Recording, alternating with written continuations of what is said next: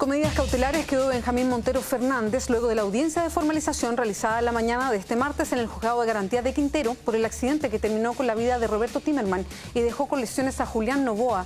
Benjamín Montero arriesga una pena que va de los tres años a cinco años.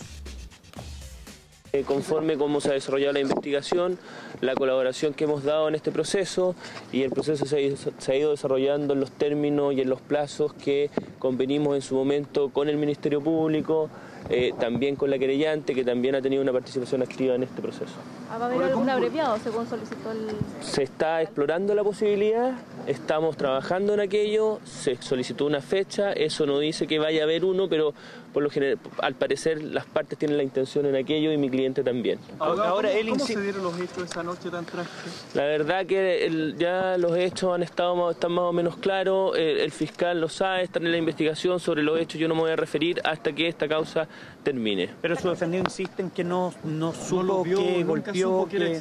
Así es, como lo, como lo oyeron en la formalización, en la formalización no hay ninguna intencionalidad, eh, esto es una, un terrible accidente donde mi representado eh, tuvo participación, como lo ha reconocido, como declaró. Lo que nosotros queremos es que en este caso eh, se juzgue al señor Benjamín Montero conforme a la ley, conforme a todos los antecedentes y conforme a toda la información que pueda estar disponible de tal manera que no se cometan errores. Eso es lo que nosotros buscamos. Estamos en presencia de un delito cuyo marco penal eh, permite la, aplicación de un procedimiento abreviado, considerando que el imputado eh, ha reconocido su participación en los hechos, en los términos que se explicó en la audiencia, eh, está la posibilidad de un procedimiento abreviado y los intervinientes entonces pedimos una audiencia para el objeto de explorar esa posibilidad. No es que esté acordado en ningún caso, sino que para explorarla considerando estas circunstancias. ¿A qué pena se expone si ese abreviado se acepta? ¿Con qué quedaría Montero? El, en principio el marco penal ¿no es cierto?, para el delito por el cual se le ha formalizado va de tres años y un día a cinco años. Eso puede variar según la atenuante, exacto, puede bajar.